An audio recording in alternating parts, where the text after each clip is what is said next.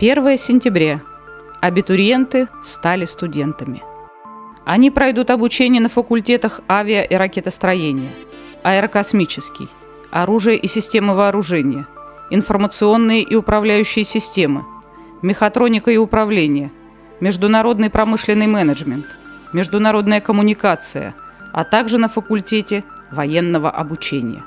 Это будущие ракетостроители, космонавты, оружейники, конструкторы, программисты, топ-менеджеры, лингвисты, политологи, инженеры, морские офицеры, ученые, академики.